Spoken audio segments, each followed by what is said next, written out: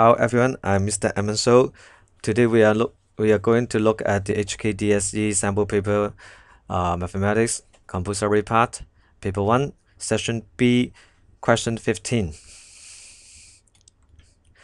Please read this message as it is the foundation of the whole series of this video.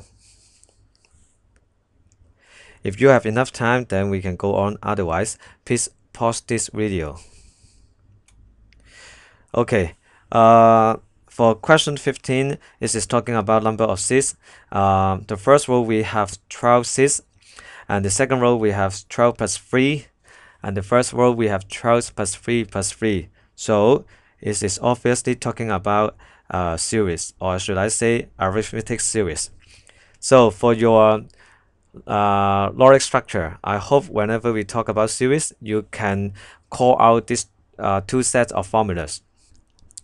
As this question is talking about arithmetic sequence, or should I say arithmetic series, so we first uh, just look at the formulas of AS.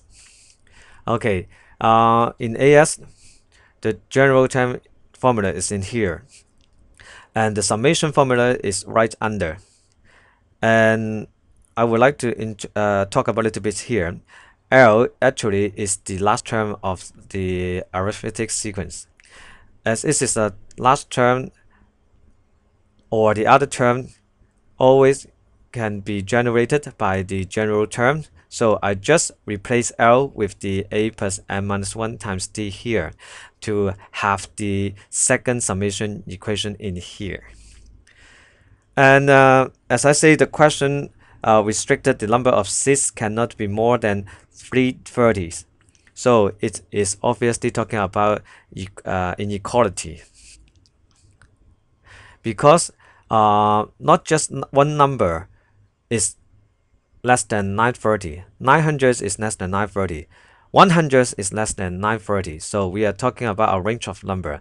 Whenever we talk about a range of a number, then it is talking about inequalities. And you will see that uh, after some uh, substitution and simplification, we end up with the quadratic inequality. How do we solve quadratic inequalities? Uh, for me, I always use a graphical method.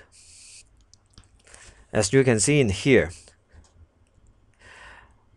as the coefficient of n square is equal to 1, which is bigger than 0. So the parabola is opening upward.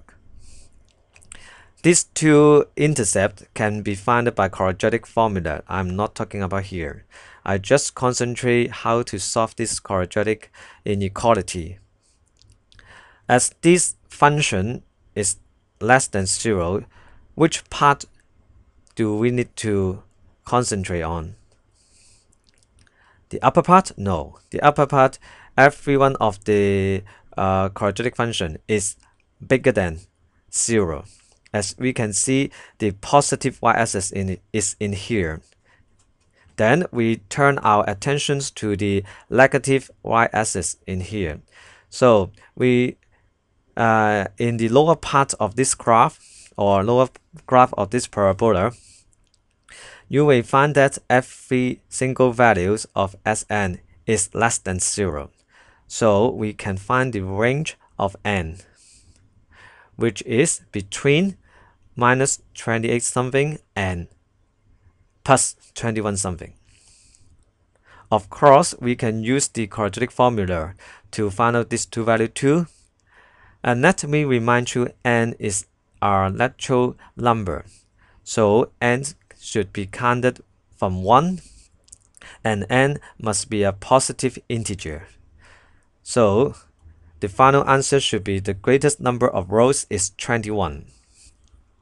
Okay, we uh, conclude the question in here and let's just look a little bit of the GS, the geometric um, series or geometric sequence. Okay, uh, Tn is the general term I'm not talking about here and the Sm is the summation of this uh, geometric series. And I just want to talk about the ratio. If a ratio is between minus 1 and 1, let's say it is 0.9 if you put 0.9 into your calculator uh, to the power of 1000 you will see a small number. 2000 yes of course a much much much smaller number. Uh, what about 3000 yes this time you may see a zero in your calculator. But why? Because when we uh, have 3000 uh, 0.9 times together the product is close enough to zero because it is so small and then it needs to zero approximates to zero. So in this case Sn becomes zero.